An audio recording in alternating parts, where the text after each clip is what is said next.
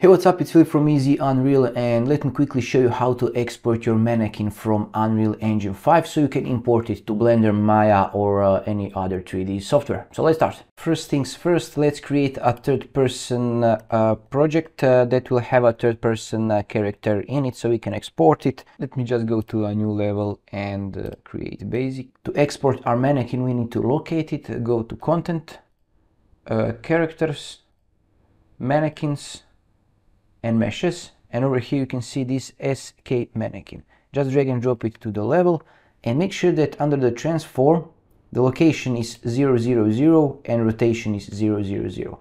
And while the mannequin is selected, go to File and click Export Selected.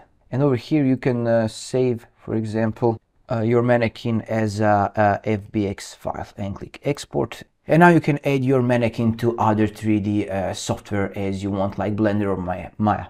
And uh, this is it. If you find this helpful, let me know in the comments below and check the channel for other uh, helpful uh, beginner-friendly tutorials. Uh, thanks for watching. Bye-bye.